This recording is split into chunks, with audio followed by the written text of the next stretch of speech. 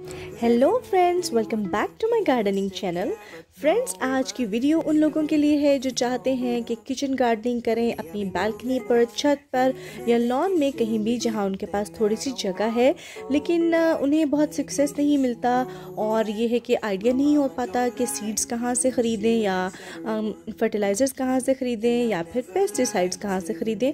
तो आज की वीडियो में मैं आप लोगों के पास उस शॉप का टूर लेके आई हूँ, जहाँ से मैं मोस्टली अपने सीड्स वगैरह परचेज़ करती हूँ। और आप भी अगर चाहें तो उनकी शॉप को विज़िट कर सकते हैं और उनसे सीड्स और बहुत सारी जो प्रोडक्ट्स हैं वो परचेज़ कर सकते हैं। तो फिर आप भी अपनी छत पर इसी तरह की जो है बहुत ही ज़बरदस्ती आप देख सकते हैं ब्रोकली और जो गोभी है ये मैंने ग्रो की है, ये आप भी कर सकते हैं। तो यहाँ पर सबसे पहले मैं आपको बताना चाहती हूँ कि ये कोई पेड वीडियो नहीं है। ये मैं आप लोगों के साथ अपना एक्सपीरियंस शेयर कर रही हूँ और मुझे इनकी कौन से प्रोडक्ट्स पसंद हैं और कौन से मैं आपको रिकमेंड नहीं करूँगी, मैं एक ट्रूथफुली आपको जो है अपना ओपिनियन बताऊँगी। आप चाहे तो जहाँ से मर्ज़ी जो है चीज़ें परचेज़ कर सकते हैं। अच्छा इनके पास से आपको सीजनल जो वेजिटेबल्स वगैरह होती हैं उनकी आ, ये देखिए सीडलिंग्स मिल जाती हैं लेकिन मैं आपको सजेस्ट करूँगी कि अगर आप गार्डनिंग में इंटरेस्टेड हैं तो खुद से सीड से ग्रो करिए आपको ज़्यादा अच्छा रेट मिल जो जर्मिनेशन रेट है वो ज़्यादा अच्छा मिलेगा। तो देखिए एक तो ये इनके पास बहुत ही एक वाइड सी वेराइटी है बहुत कलरफुल से पॉट्स हैं। अगर आप फ्लारिंग वगैरह करना चाहते हैं या फिर आप हैंगिंग पॉट्स बनाना चाहते हैं तो इनके पास आपको बहुत ही तरह तरह के साइज़ में और बहुत सारे कलर्स में जो है ये पॉट्स भी अवेलेबल हैं।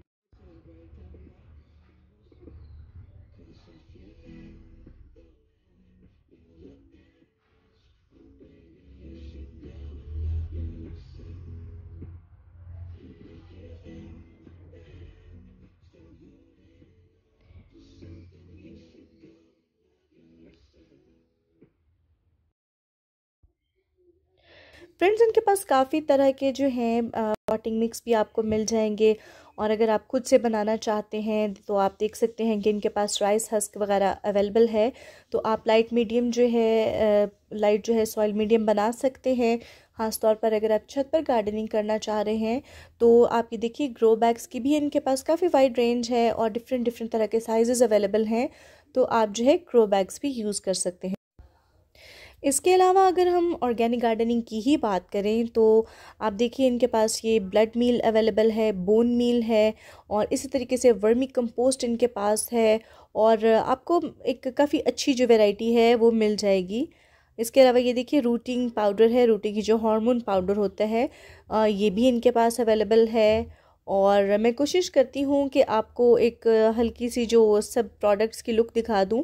और इसके बाद अगर आप कोई ख़ास प्रोडक्ट के बारे में जानना चाहते हैं तो आप मुझे कमेंट करके बता सकते हैं। तो हम उस प्रोडक्ट का जो रिव्यू है, उसका यूज़ या उसका नुकसान या उसका फ़ायदा वो तमाम चीज़ें आपके साथ शेयर कर सकते हैं। तो मैं फिर आपको उस प्रोडक्ट के बारे में भी बता सकती हूँ। आप चाहें तो आप मुझे जो है कमेंट बॉक्स में बता सकते हैं। आ, ये देखिए नीम ऑयल नीम ऑयल एक बेस्ट चीज़ है स्पेशली जब आप ऑर्गेनिक गार्डनिंग कर रहे हैं। लेकिन यहाँ एक चीज़ मैं आपको क्लियर करती चलूँ कि नीम ऑयल इस तरह से नहीं होता कि आप उसको एक दफ़ा यूज़ करें सीज़न में या जब आपको याद आए या जब आपको लगे कि अब बीमारियों का हमला हो चुका है तो फिर आप यूज़ करें। तो ये इतना कोई ख़ास इफ़ेक्टिव नहीं होता उस पॉइंट पे जबकि प्लांट्स के ऊपर ऑलरेडी बीमारियों का अटैक हो। तो आप स्टार्टिंग से ही जब आपके पौधे जो है अभी छः से चार इंच, चार से छः इंच के होते हैं तो आप उसी टाइम पे ये देखिए इस तरह से स्प्रेयर बॉटल्स आप ले सकते हैं। इसमें जो मैंने आपको वाटरी सोल्यूशन बताया हुआ है नीम ऑयल के साथ मिला करके, अगर आप उसको हर वीक में एक दफ़ा या पंद्रह दिन में एक दफ़ा करते रहें तो उससे आपके जो पौधे हैं उन पर बीमारियों का हमला ही नहीं होता और आपको बहुत ही अच्छे हेल्दी प्लांट्स मिलते हैं। और ये देखिए, इनके पास ये neem cake fertiliser mustard cake fertiliser fish fertiliser भी अवेलेबल है। ये बहुत ही अमेजिंग फर्टिलाइज़र्स होती हैं और जब आप ग्रो करने लगते हैं, कुछ सीडलिंग जो है उसको ट्रांसप्लांट करने लगते हैं तो ये सारे फर्टिलाइज़र्स जो है हम एक ख़ास रेशो के साथ जो है मिट्टी के अंदर मिक्स करते हैं। और चूँकि ये नेचुरल फर्टिलाइज़र्स होती हैं, इसका कोई नुकसान नहीं होता, पौधे को ताकत भी मिलती है और ये स्लो रिलीज़ फर्टिलाइज़र्स होती हैं। ये आहिस्ता आहिस्ता जो है एनर्जी को रिलीज़ करती हैं सॉइल में और जैसे जैसे प्लांट बढ़ता है, उस पर फ्लारिंग स्टार्ट होती है, उस पर फ्रूटिंग स्टार्ट होती है, उसकी जैसे जैसे नीड्स बढ़ती हैं तो तभी उसको अपनी सॉइल से ही बहुत सारे न्यूट्रिएंट्स मिलते रहते हैं। इसके अलावा इन्हीं फर्टिलाइज़र से हम लिक्विड फर्टिलाइज़र्स भी बनाते हैं, जो प्लांट को इंस्टेंट एनर्जी देता है और हम उसे भी यूज़ करते हैं। ये सीविड फर्टिलाइज़र है, ये भी बहुत ही कमाल की फ़र्टिलाइज़र है और मैं ख़ुद काफ़ी अरसे से ये यूज़ कर रही हूँ और मेरा काफ़ी अच्छा एक्सपीरियंस है। इनफैक्ट इस दफ़ा जब मैंने इन्हें विज़िट किया है तो मैंने इनके पास लिक्विड सीविड फर्टिलाइज़र भी देखी है। ये इन्होंने फ़र्स्ट टाइम मंगवाई है, इसलिए मैं उसके बारे में ये तो बता नहीं सकती कि वो कैसी है, लेकिन आई होप अच्छी ही होगी, क्योंकि सी वीड फर्टिलाइज़र इट्सल्फ बहुत अच्छी होती है। और यह देख सकते हैं डीएपी और ये है वर्मी कंपोस्ट ये भी मैं यूज़ करूँगी, बड़ी अच्छी सी मुझे पैकिंग मिल गई है, काफ़ी बड़े साइज़ की है। ये आप देखिए तकरीबन ढाई के जी का पैक है और ढाई सौ रुपये का ये मुझे मिला है टू फिफ्टी रुपीज़ बहुत ही अच्छा सा ये मुझे, मेरी फेवरेट जो फर्टिलाइज़र्स हैं ऑर्गेनिक उसमें ये शामिल है और ये आप देख सकते हैं कि इनके पास पॉटिंग मिक्स भी अवेलेबल है। अगर आप जो है सीडिंग करना चाहते हैं या बस आप पॉटिंग मिक्स लीजिए और डायरेक्टली इसमें जो है आप प्लांट्स लगा सकते हैं। मुझे अपनी ज़रूरत की तकरीबन तमाम चीज़ें इनकी शॉप से मिल जाती हैं, इनके पास शावर कैंस हैं सीडलिंग ट्रेज़ हैं और सबसे बढ़कर ये है कि सीड्स हैं। और इनसे मैंने अब तक जितने भी सीड्स यूज़ किए हैं, मुझे बहुत अच्छा रिज़ल्ट मिला है। जो सीड बताया जाता है, वही जब मैं ग्रो करती हूँ तो उसी तरह का उस पर फ्रूट भी लगता है। अमूमन हम सीड्स ले आते हैं और उसके बाद, काफ़ी टाइम के बाद हमें पता चलता है कि ये आपने इतनी देर जिस पौधे पे मेहनत की है, वो कुछ और ही एंड पे निकलता है। लेकिन फ्रेंड्स इसलिए हमेशा आप जहाँ से भी ख़रीदें मेक श्योर करें कि आप अच्छी क्वालिटी के जो है सीड्स ख़रीदें। क्योंकि देखिए सीड्स का पैकेट की प्राइस पे हम दस या बीस रुपए बचा लेते हैं, लेकिन बाद में आप इतनी फर्टिलाइज़र्स यूज़ करते हैं पेस्टिसाइड्स एफर्ट करते हैं और एंड पे आपको जब वो रिज़ल्ट नहीं मिलता तो बहुत डिसअपॉइंट होते हैं।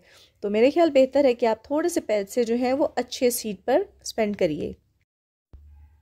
ये देखिए, ये बहुत ही कमाल का एक प्रोडक्ट है जो लोग हाइड्रोपोनिक फ़ार्मिंग करते हैं। इसके अलावा जो किचन गार्डनिंग करना चाहते हैं और चाहते हैं कि उसको हाइड्रोपोनिक तरीके से ग्रो करें तो ये उनकी फर्टिलाइज़र्स भी इनके पास अवेलेबल हैं।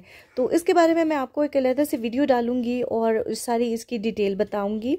अगर आप इसमें इंटरेस्टेड हुए तो अभी बस मेरे पास इतना शॉर्ट टाइम है कि मैं आपको यही बता सकती हूँ कि ये इनके पास अवेलेबल है। बाकी इनके पास आप देख सकते हैं काफ़ी एक वाइड रेंज है तरह तरह के फ्लावर्स हैं। ये आप देख सकते हैं। इसके अलावा इनके पास बहुत सारी जो वेजिटेबल्स हैं, उनके सीड्स भी अवेलेबल हैं। और इनके फ्लावर्स के सीड्स भी मैंने काफ़ी ज़्यादा ट्राई किए हुए हैं। अच्छा रिज़ल्ट मिलता है, बहुत ही अच्छा उसका जर्मिनेशन रेट होता है, जिसका मतलब ये है कि इनके जो सीड्स की क्वालिटी है वो काफ़ी अच्छी है। तो सीड्स के अलावा इनके पास तमाम तरह के गार्डनिंग टूल्स भी हैं फर्टिलाइज़र्स भी हैं तो वैसे तो बहुत कुछ है शॉप में, मैं सब कुछ तो उसको नहीं शूट कर सके, लेकिन मैंने सोचा कि एक छोटा सा आइडिया आप लोगों को हो जाए कि बेसिकली इनके पास क्या क्या अवेलेबल है। और आई होप आपको वीडियो अच्छी लगी होगी। अगर वीडियो अच्छी लगी हो तो वीडियो को लाइक और चैनल पर पहली दफ़ा है तो चैनल को सब्सक्राइब करना मत भूलिएगा। मिलते हैं नेक्स्ट वीडियो में। Till then happy gardening